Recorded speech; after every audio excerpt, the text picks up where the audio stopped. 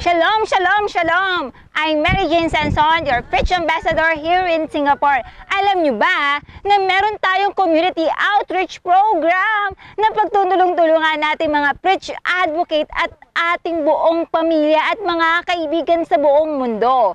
Dahil may tutulungan tayong community sa St. Joseph Home Special Children. Yes, ito po ay sa Tarlac City. This is a collaboration of our uh, team here in Singapore, especially po sa ating mga kasamahan from Tarlac University Alumni Association here in Singapore. Kaya nananawagan po kami sa lahat po na nais magpahatid po ng tulong ay maaari lamang po kayong magdonasyon at higit sa lahat Please like and share po ang ating pong video na kung saan po kita po talaga natin kung ano po ang pangangailangan ng ating mga kababayan at higit sa lahat ng mga special children sa St. Joseph Home Special Children at Tarlac City.